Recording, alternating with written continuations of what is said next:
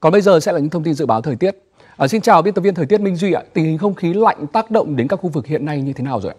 Vâng, xin chào anh Hạnh Phúc cùng quý vị khán giả.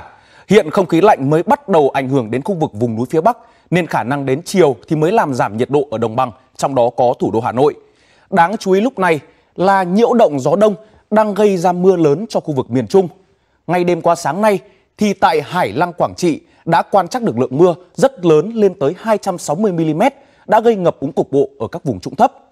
Dự báo là mưa còn gia tăng ở miền Trung khi chiều và đêm nay gió đông bắc của không khí lạnh dồn xuống kết hợp với gió đông trên độ cao 5.000 m hoạt động mạnh sẽ tạo điều kiện cho mây rông phát triển và gây ra mưa.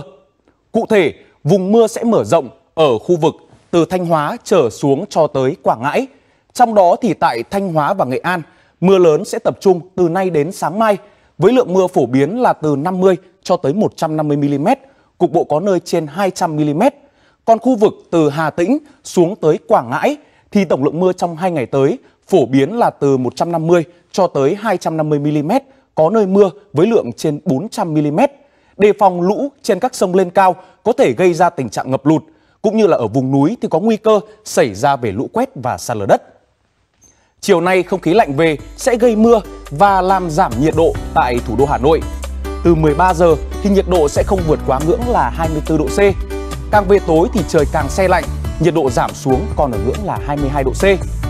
Còn tại thành phố Hồ Chí Minh, chiều nay tiếp tục có mưa rông, không loại trừ khả năng sẽ xảy ra mưa to cục bộ. Kết hợp với chiều cường đầu tháng 10 âm lịch ở trên mức báo động 2 có thể gây ra tình trạng ngập lụt ở các vùng trũng thấp và ven sông. Vừa rồi là các thông tin thời tiết đáng chú ý.